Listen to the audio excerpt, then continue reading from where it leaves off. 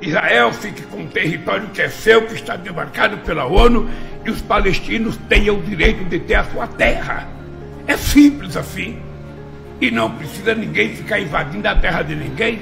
Todo dia a gente vê, sabe, que colonos de Israel invadem a terra dos palestinos, ou seja, e a ONU não faz nada porque a ONU está enfraquecida.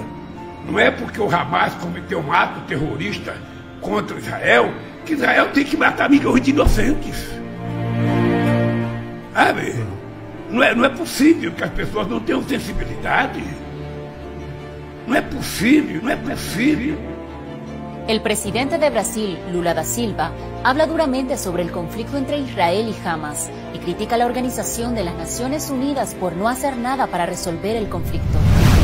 Ou seja, eu já falei com o presidente de muitos países. Ou seja, eu estou falando com todo mundo para que a gente consiga três coisas. Primeiro, garantir um corredor humanitário para que as pessoas possam receber água, possam receber comida, possam receber remédio.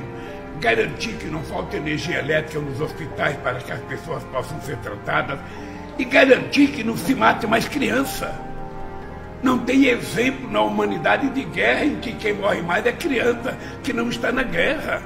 Onde é que nós estamos? Que mundo nós queremos criar? Então, essa minha indignação contra a pobreza, essa minha indignação contra a desigualdade, ela está virando uma indignação contra a burrice do ser humano, a ignorância. As pessoas não estão mais sendo humanas, as pessoas estão sendo irracionais vai ser mais sensato negociar, vai ser mais sensato ceder alguma coisa, conquistar menos do que eu quero, perder menos do que eu posso perder, para que a gente possa voltar a construir a possibilidade de um mundo melhor, porque ainda tem 535 milhões, 735 milhões de pessoas passando fome no mundo e a gente vendo a quantidade de comida perdida nesse planeta. É, é, é, eu sei que é irracional, o show é irracional, mas se você não falar em paz todo dia, todo dia, todo dia, todo dia, as pessoas esquecem que é possível construir a paz. Então, quando eu vejo as autoridades falar em guerra, porque fulano tem que matar ciclano, porque ciclano tem que derrotar, não é assim que a gente resolve o problema. Numa mesa de negociação, não morre ninguém, custa mais barato e a gente pode encontrar solução. Israel fique com um território que é seu, que está demarcado pela ONU, e os palestinos tenham o direito de ter a sua terra. É simples assim. E não precisa ninguém ficar invadindo a terra de ninguém. Todo dia a gente vê, sabe, que colonos de Israel invadem a terra dos palestinos, ou seja, e a ONU não faz nada porque a ONU está enfraquecida. Não é porque o Hamas cometeu um ato terrorista contra Israel que Israel tem que matar milhões de inocentes. Sabe? Não é, não é possível que as pessoas não tenham sensibilidade. Não é possível. Então, se, se a ONU tivesse força, a, a, a, ONU poderia ter uma interferência maior. Sabe? Os Estados Unidos poderiam ter interferência maior. Mas, sabe, as pessoas não querem, as pessoas querem guerra, as pessoas querem incentivar o ódio, as pessoas querem estimular o ódio. E eu não vejo assim. Não vejo assim. Podem me criticar quanto quiserem. O Lula vai continuar falando em paz. O Lula vai continuar falando de diálogo. O Lula vai continuar chorando pela morte das crianças do planeta Terra e até pela morte que foi feita ontem em São Paulo. Menos del 30% de la población de Israel respalda que su ejército ingrese inmediatamente a Gaza. Estos son los resultados de una encuesta publicada hoy, a tres semanas del inicio de la incursión de Hamas en el sureste, suroeste de este país, en el cual los diarios Maarif y Jares demuestran de que, según la opinión pública, el 49% de los israelíes quiere esperar antes de una incursión el 29% está a favor de hacerlo inmediatamente y el 22% no sabe, no opina. Ahora, este es un dato muy importante, porque ya repito, son tres semanas desde que pasó la incursión del Hamas. Ahora, se dice que lo que pasó el 7 de octubre fue el equivalente al 11 de septiembre o a, que tuvo Estados Unidos en el 2001 o al Pearl Harbor que tuvo ese mismo país en el año 41. Pero en esos momentos la opinión pública norteamericana exigía ir a la guerra. Pero en Israel están más bien pidiendo, retrocediendo de ir a una guerra para pedir, hay que esperar un poco. Pero además cuando fue el ataque de, Al Qaeda a las Torres Gemelas, toda la opinión pública mundial, inclusive Rusia y China, simpatizaron con Estados Unidos, que hizo la mayor coalición bélica de toda la historia para bombardear Afganistán. Pero ahora eso no ocurre con el caso de Israel. Porque en vez de haber movilizaciones populares de apoyo a Israel, que no las hemos visto en, Inglaterra, por ejemplo, lo que vemos es que cada semana hay movilizaciones cada vez más grandes en contra de los bombardeos de Gaza. Y que han salido a las calles millones de personas en todo el mundo para evitar que Gaza siga, siendo bombardeada. Las autoridades de esta franja que solamente tiene 350 kilómetros cuadrados, dicen que ya son más de 7.000 muertos, la mitad de ellos civiles, y que la cuarta parte de sus casas ha sido demolida y que ha caído tantos explosivos como el equivalente de una bomba atómica. Ahora, para Israel no le podría costar nada invadir Gaza. Tiene ya 500.000 hombres y mujeres en armas. Tiene más de mil tanques. Tiene una aviación poderosísima. Tiene más de 200 armas nucleares y tiene rodeada Gaza por aire, agua y tierra. Ahora, ¿por qué no invade donde solamente viven 2.3 millones de palestinos que tienen pocas armas y muy rudimentarias? Porque esto implicaría una guerra prolongada. Se abriría un, frente al norte eh, en el Líbano con Hezbollah.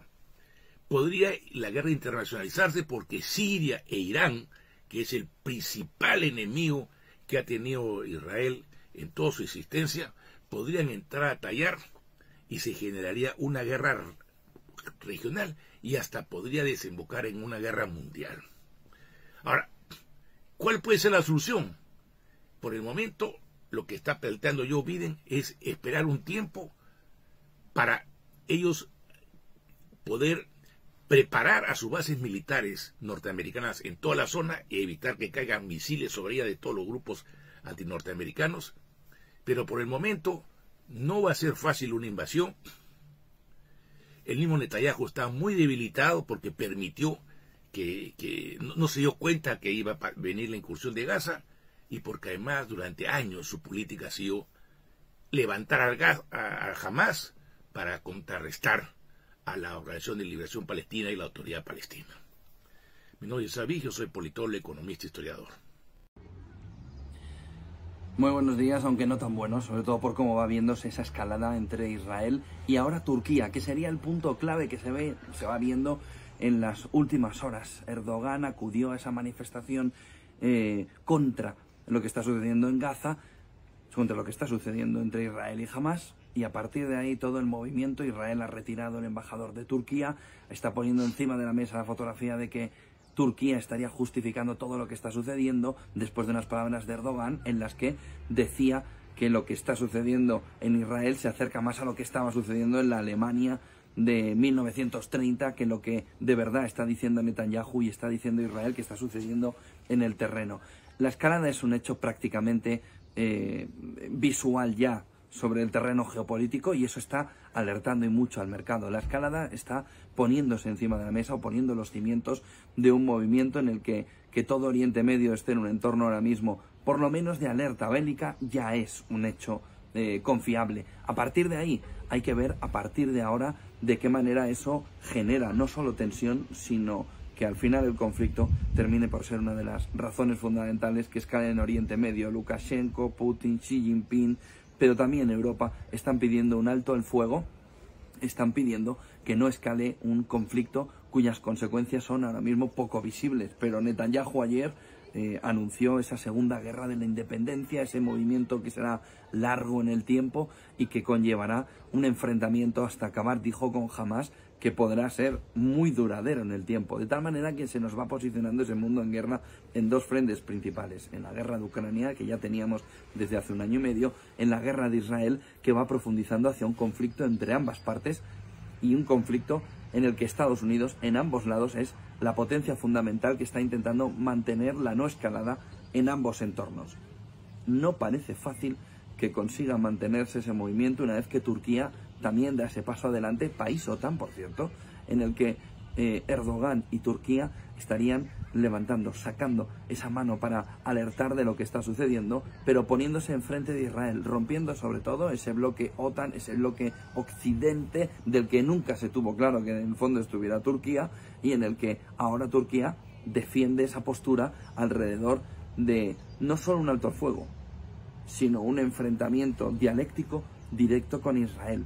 De tal manera que esos bloques se van rompiendo. No es que esté ni bien ni mal lo de Turquía, la realidad es un hecho constatable y es que hay un país dentro de la OTAN que al igual que en la guerra de Ucrania ha estado intentando hacer de pivote, aquí no solo está haciendo de pivote, sino que está enfrentándose ante una situación en la que, como ya vimos ayer, tiene mucha contestación también dentro de Occidente con todas esas manifestaciones pro-palestinas que vimos durante toda la jornada de sábado. A partir de ahí, la semana que viene, ¿qué? Petróleo, petróleo, petróleo y oro. El oro ha conseguido superar durante esta semana los 2.000 dólares, ha conseguido estar otra vez por encima y es el valor refugio clave en este momento. Los gestores están apuntando que el caminar hacia ese lado es precisamente el del oro.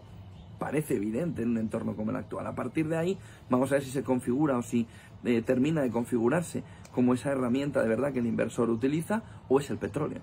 En un movimiento al alza que le lleve primero a los 100 dólares, en un movimiento claro de eh, mayor presión y luego hacia dónde. Nomura decía 125, 120, 125. Hay quien apunta que los 140 en una eh, escalada en Oriente Medio sería lo normal en ese entorno. De tal manera que el inversor va a tener dos opciones que vigilar.